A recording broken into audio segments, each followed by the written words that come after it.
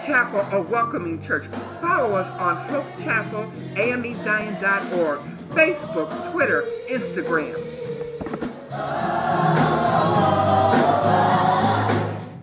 Praise the Lord, everybody.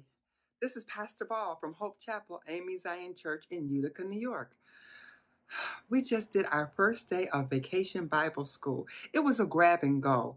All the crafts, all the information, everything that you need is in the booklet. We also going to post on our website, hopechapelamezion.org.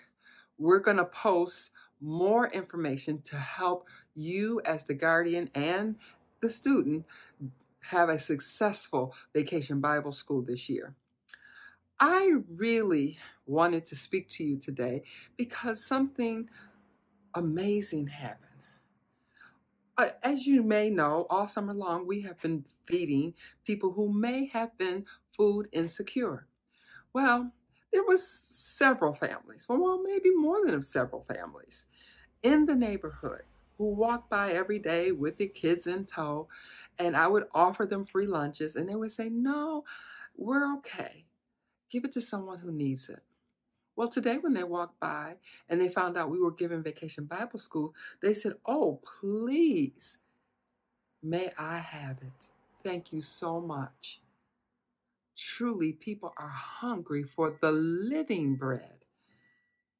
I hope this is an encouragement to you at your local church to reach out because people are hungry for the living bread.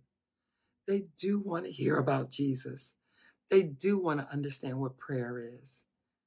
And that doesn't stop, even during a pandemic.